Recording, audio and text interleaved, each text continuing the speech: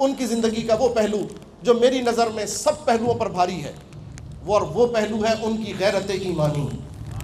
उनकी गैरत ईमानी। ज़ोर से कहिए, उनकी गैरत वो क्या चीज़ है?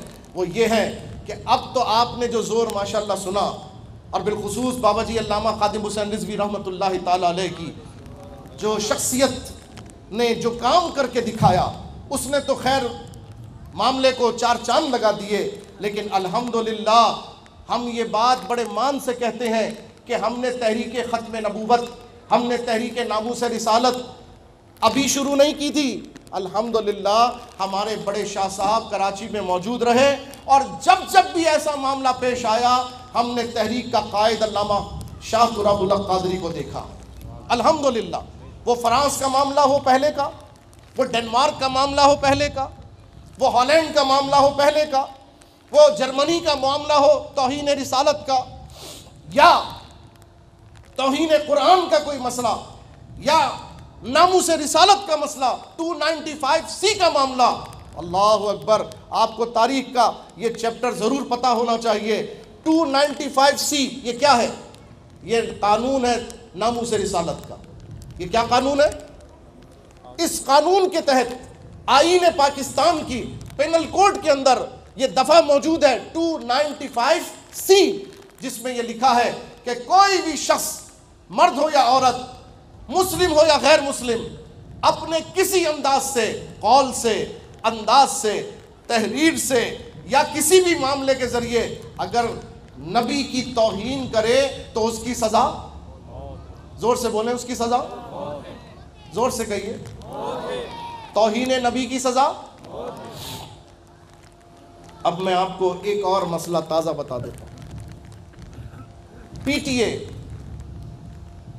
पीटीए, पाकिस्तान की जो सरकारी रेगुलेटरी अथॉरिटी है, पाकिस्तान टेलीकम्युनिकेशन अथॉरिटी पीटीए, जो रेगुलेटरी करती है, तमाम चैनल्स की, तमाम मीडिया की, तमाम इलेक्ट्रॉनिक खबरों की, तरसील की, इन सब चीज़ों की उस पीटीए ने अभी एक इश्तहार शाया किया। तीन दिन पहले अपनी वेबसाइट के ऊपर लगाया कि तोहन रिसालत के मुलजिमान को आप यूँ कीजिए, उसकी शिकायत कीजिए, सोशल मीडिया पे कोई तोहन करे तो आप पीटीए को शिकायत करें। अच्छा काम किया अच्छा काम किया कि आप सोशल मीडिया पर देखें, अगर साहबा की तोहन हो रही है माजल्ला कोई साहबा के बारे में गलत बात कर रहा है, अहल बैत के बारे में गलत बात कर रहा है या कुरान के बारे में गलत बात कर रहा है या इस्लाम के बारे में गलत बात कर रहा है या हुजूर पुरनूर सैयद आलम नूर मुजस्सम सल्लल्लाहु अलैहि वसल्लम के बारे में कोई बात नामुनासिब कर रहा है तो आप उसको पीटीए की वेबसाइट के ऊपर, ये ये जगह है, यहाँ पर एंट्री करवाएँ, यहाँ शिकायत दर्ज करवाएँ, एफआईए के साइबर क्राइम के अंदर शिकायत नोट करवाएँ। ये बज़ाहिर तो ये जो इश्तहार है, किस लिए है? आप सबकी आगाही के लिए, आप सबकी आगाही के लिए कि ये अगर ऐसा जुर्म हो तो आपने जुर्म देखकर क्या करना है? यहाँ शिकायत करनी है, यहाँ शिकायत करनी है। यहाँ तक बात दुरुस्त है। लेकिन उसके अंदर जो उन्होंने 295 सी की तशरी लिखी है, उस तशरी में डंडी मार। 95 सी में अब आइन के अंदर सिर्फ़ एक बात लिखी है जिसने तोहीन की उसकी सजा। ज़ोर से बोले। ये मैं इसलिए बुलवा रहा हूँ ताकि आपको याद रहे ये बात। मैं सुना के चला जाऊँगा, भूल जाएँगे। तोहीन नबी की सजा सिर्फ़ क्या है? इसके अलावा कोई और सजा? ना सजाए मौत है, ना उम्र कैद है सजाए मौत है। इसके अलावा उम्र कैद नहीं है, या कि और किस्म की कैद नहीं है। सिर्फ़ और सिर्फ़ क्या है? एक ही सजा है तोहन नबी की सजा। मनसब्बा नबीयन, ये सजा आईन पाकिस्तान में भी लिखी हुई है। लेकिन 1986 से पहले ये नहीं था।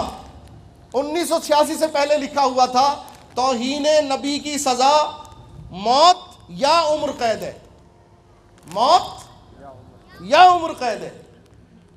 आज हम जिस हस्ती का उर्स बना रहे हैं, आओ, उम्मत पर उसके एहसान का तस्करा करके शुक्रिया अदा करो कि अल्लामा शाह तुराबुल हक कादरी रहमतुल्लाह उन्नीस सौ पिचासी की असम्बली में खारा दर कराची से कौमी असम्बली के मेंबर मुंतखब हुए।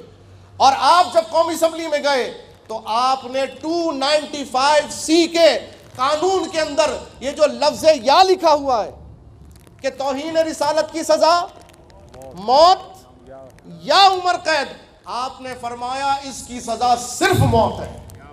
इसकी सजा सिर्फ़ मौत है। और अल्हम्दुलिल्लाह 9 जुलाई 1986 को पार्लियामेंट से शाह साहब का पेश करदा कानून मंजूर कर लिया गया। ये ये उनकी गैरत का, जो मैंने कहा ना कि उनकी गैरत ईमानी, ये उनकी गैरत ईमानी का जीता जागता सबूत है। हम उन बुज़ुर्गों का तस्करा कर रहे हैं, हम उनके मानने वाले हैं। अल्हम्दुलिल्लाह, ना और हमारा माजी भी इसका गवाह है, कायद अहल सुन्नत। अल्लामा शाह अहमद नूरानी सिद्दीकी, वो अजीम शख्सियत जो आला हज़रत के खलीफा के बेटे, आला हज़रत के खलीफा के बेटे, जो इमाम अहल सुन्नत के बड़े लाडले खलीफा, जिन्हें आला हज़रत ने दीन इस्लाम की तबलीग के लिए अपना सफ़ीर मुकर फरमाया। शाह अब्दुल अलीम सिद्दीकी, मोहम्मद अली जिना, बानिय पाकिस्तान उन्होंने उन्हें सफ़ीर इस्लाम का लकब दिया। और पहली नमाज़ ईद मोहम्मद अली जिना गवर्नर जनरल पाकिस्तान बना 27 रमज़ान को। तीन दिन के बाद कराची में ईद की नमाज़ मोहम्मद अली जिना बानी पाकिस्तान, वज़ीर आज़म पाकिस्तान, लियाकत अली खान ने यह रेडियो पाकिस्तान के सामने ईदगाह बनी है, यहाँ अदा की। और इसकी तस्वीर भी इंटरनेट पर मौजूद है। और नमाज़ ईद की इमामत और खुतबा देने वाली ज़ात शाह अब्दुल अलीम सिद्दीकी रहमत जो आला हज़रत के खलीफा, जो आला हज़रत के खलीफा, उनके शहजादे, मौलाना शाह अहमद नूरानी सिद्दीकी, कायद अहल सुन्नत, हम सुन्नियों के कायद 1974 की असम्बली में मेरे कायद अहल सुन्नत ने अपने रुफका के साथ और खुलफाए आला हज़रत की औलादों के साथ, सुन्नियों के साथ अल्हम्दुलिल्लाह मिलकर 7 सितंबर 1974 इस साल 1974 से लगाओ तो पूरे कितने हो गए? 50 साल, यानी ये साल खत्म नबूवत के कानून बने हुए को 50 साल पूरे हुए, गोल्डन जुबली साल है, इसका सेहरा भी अल्हम्दुलिल्लाह कायद अहले सुन्नत के सर है। उससे पहले चले जाओ। उन्नीस सौ तिरपन के अंदर जो तहरीक चली, उसके सरखेल आला हज़रत के खलीफा अल्लामा अबुल हसनात कादरी, उनके बेटे अल्लामा खलील अहमद कादरी और कराची में मौलाना मुफ्ती शफी काड़वी और मौलाना अब्दुल सत्तार खान न्याजी, ये हमारे अकाबिर। यानी जहाँ देखोगे नामू से रिसालत पर पहरा दिया है तो रजा के शेरों ने दिया है। नबूवत पे पहरा दिया है। तो इमाम अहमद रजा के गुलामों ने दिया है। और चौहत्तर की बात हो गई, तिरपन की बात हो गई, छियासी की बात हो गई। आओ हम आज के दौर की बात करते हैं। आज से छह साल पहले 2017 के अंदर, नवंबर 2017 में फैजाबाद पर एक धरना हुआ था, जो खत्म नबूवत के कानून की बहाली के लिए था। वो धरना भी देने वाला इमाम अहमद रजा का रजवी शेर था। तो जब भी मौका आया, जब गुलिस्तान को खून की ज़रूरत पड़ी, सबसे पहले ही गर्दन हमारी कटी। फिर भी कहते हैं, हमसे ये अहले चमन, ये चमन है हमारा, तुम्हारा नहीं। सबसे पहले कुर्बानी किसने दी? अहले सुन्नत ने दी। आप इंटरनेट पर चेक कर लें। मैं किसी की तोहन का मकसूद मेरा नहीं है, लेकिन मुखालिफ मकतबा फ़िक्र के बड़े बड़े मौलवियों ने कहा मेरे पास रिकॉर्ड मौजूद है। आप भी देख सकते हैं। मैं नाम लेता हूँ। मौलाना मंजूर अहमद मेंगल साहब। आजकल के दौर में मकतबा फ़िक्र देवबंद के बहुत बड़े मौलवी हैं। आप उनकी तकरीर सुन लें, नाम लिख के लिखें। दोनों का नाम लिखे। अल्लामा खादिम हुसैन रिजवी और मंजूर अहमद मेंगल। आपको उनकी वो तकरीर खुल जाएगी। वो खुद कह रहे हैं वल्ला मैंने खुद सुना। उन्होंने खुद कहा कि हम सिर्फ़ चंदे खाते रहे। हमने लेबिल लगाए रखा। ताफुज ख़त्म नबूत ताफुज ख़त्म नबूत हम सिर्फ़ नारे लगाते रहे, हम सिर्फ़ लंदन में प्रोग्राम करते रहे, लंदन यात्रा में लगे रहे। और काम की जब बारी आई तो अल्लाह ने पैरों से माजूर इमाम अहमद रजा के शेर को यह सादत अता फरमाया। यार, हम तो उन बुज़ुर्गों के वारिस हैं।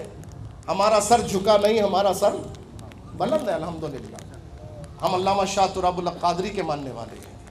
जिन्होंने ख़त्म नबूत के कानून पर पहरा दिया, जिन्होंने नामू से रिसालत को यहाँ पर कानून में मज़बूत करवाया, आज फिर से साजिश हो रही है।